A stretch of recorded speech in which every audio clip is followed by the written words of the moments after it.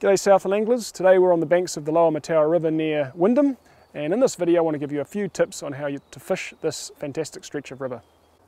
The lower reaches of the Mataura River is a fantastic stretch of river with a good population of trout and easy access. In the lower section of the river below Gorge Road the river is deep and channel-like. In this area bait fishing with worms or mussel bait is a great option. As you move further up the river, around the likes of Wyndham, the river will tend to get shallower in places and you'll start to see more gravels. This section is well suited to spin fishing with lures and soft baits. Focus your fishing effort on the deep run type habitat and edges of the riffles. These are where the fish will often hang out. And remember, if you're not having any luck in one spot, keep moving until you find the fish. If I had to pick a stretch of river with the best angler access options, the lower Mataura would be it. There are over 35 access points between the river mouth and gore, and many of them are signposted. Here are a few of my favourite access points.